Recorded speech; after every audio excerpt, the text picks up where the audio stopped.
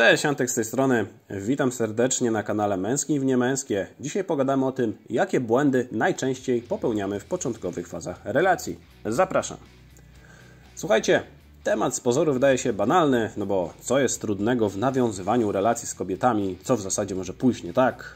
No cóż, jak się okazuje, wiele spraw po drodze może się schrzanić.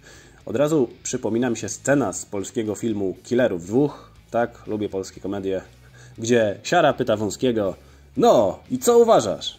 No, moim zdaniem, według mnie, kilka niedociągnięć jest. Kilka niedociągnięć? A gdzie to są dociągnięcia? Panowie, tak mniej więcej wyglądają rozmowy pomiędzy kobietami po randkach z facetami.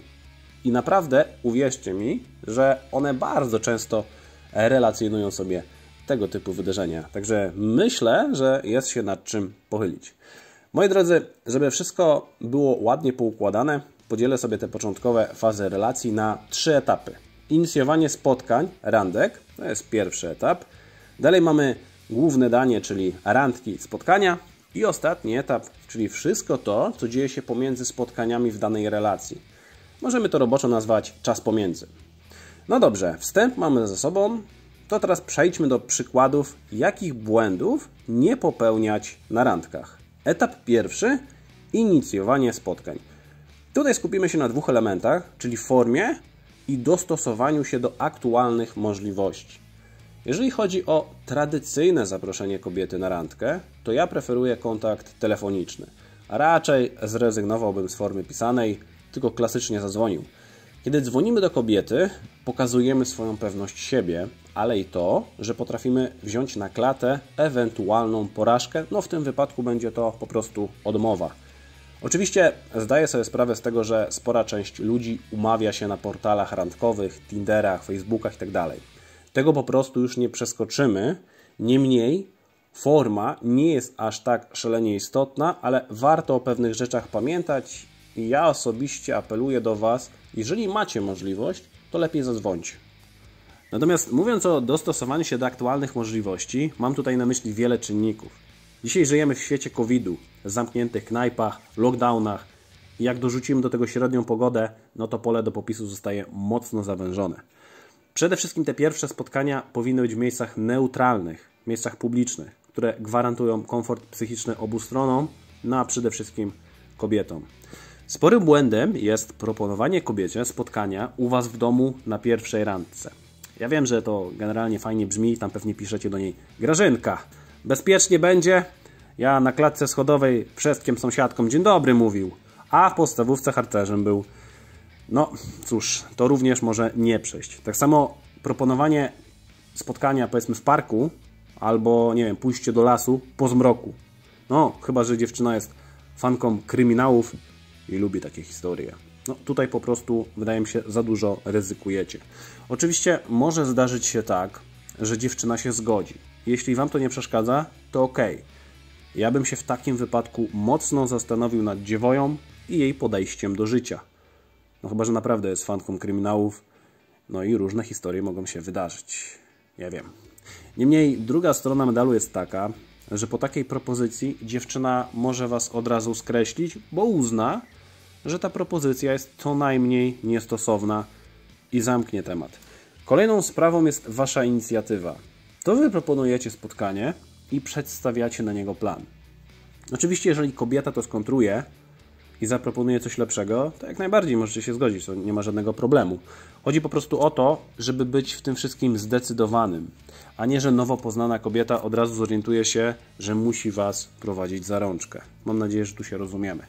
Pamiętajcie również, żeby uwzględnić kwestię logistyki. Bo jeśli dziewczyna mieszka w innym mieście, a wy jej proponujecie pizzę pod waszym blokiem, no to tak średnio to wygląda.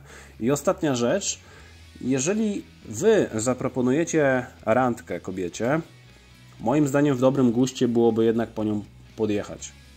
To tak na marginesie. Etap drugi Randki i spotkania. Tutaj już konkretnie przejdziemy do najczęściej popełnianych błędów. Numer jeden: brak punktualności. Za bardzo nie ma o czym mówić, poważny błąd, często będzie odebrany jako brak szacunku, lepiej przyjść 10 minut wcześniej. Numer dwa: uniform niedostosowany do sytuacji. Jak idziecie do parku na spacer, to nie odwalajcie się jak na Mediolan, tylko swobodnie, bo kobieta zaraz wyczuje, że komuś za bardzo zależy. Poza tym tu chodzi o wyczucie. Pamiętajcie oczywiście o czystych butach. Tak wiem, zawsze to powtarzam. Numer 3. Wycenianie swojej wartości. Część facetów ma ten problem, że podczas kilku pierwszych randek stara się kobiecie zaimponować. I to jest całkowicie naturalne. Do momentu, w którym przeniosą rozmowę na tryb ofertowy, tudzież wyprzedaż garażową i będą prawili, ile to kasy nie zarabiają, jakim to autem nie jeżdżą. Panowie, to nie jest najlepszy temat na pierwszą randkę. Poza tym sam w sobie trąca drewnianą chatką, by nie napisać wiochą, żeby kogoś nie urazić oczywiście.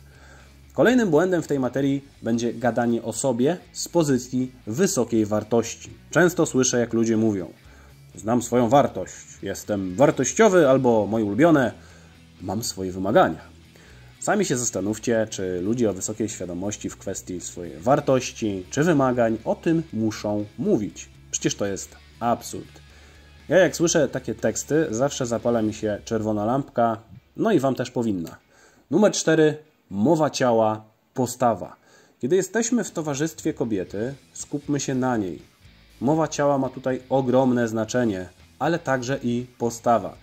Jeśli jesteśmy przygarbieni, a nasz wzrok zamiast być skierowany na naszego rozmówcę, błąka się gdzieś w przestworzach, to jest to często sygnał dla kobiety, że nie jesteśmy zainteresowani, albo z kolei jesteśmy nadmiernie wstydliwi. Numer 5. Braki komunikacyjne. Wielu z nas, poza brakiem pewności siebie podczas luźnej rozmowy z kobietą, często ma problem z konstruowaniem głębszych myśli, a wynika to z pewnych deficytów w tej materii, mianowicie ograniczony zasób słownictwa. Niby są to banały, ale uwierzcie, że kobiety zwracają uwagę na to, w jaki sposób się z nimi komunikujemy. Na randkach często to my jesteśmy kreatorami pewnych historii, no i najlepiej byłoby, gdybyśmy potrafili wypowiadać się zrozumiale i z zachowaniem poprawności językowej. Rada ode mnie: pokochajcie czytanie. Jest to inwestycja w siebie, która zawsze się zwraca. Numer 6. Nieumiejętne prowadzenie rozmowy. Na pierwszych spotkaniach rozmowa powinna opierać się na tak zwanych bezpiecznych tematach.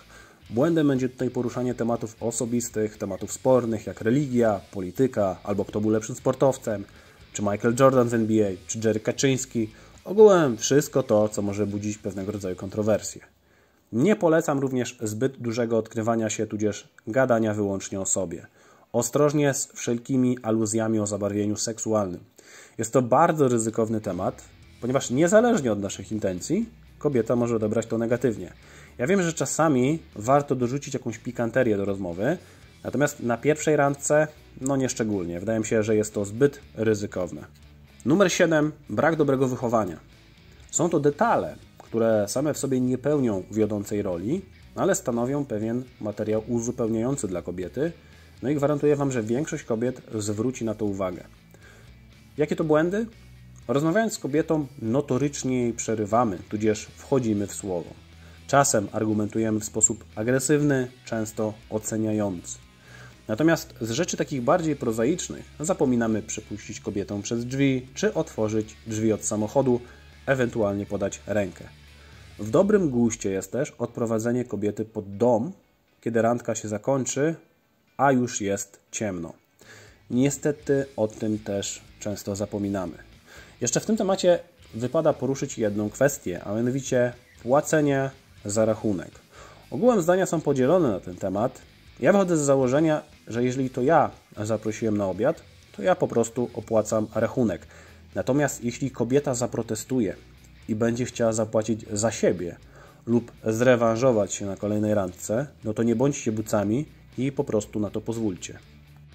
Numer 8. Brak wyczucia. Jest to sytuacja, kiedy błędnie odczytujemy pewne gesty ze strony kobiet lub podejmujemy pewne działania, bazując na schematach aniżeli trzeźwej ocenie sytuacji.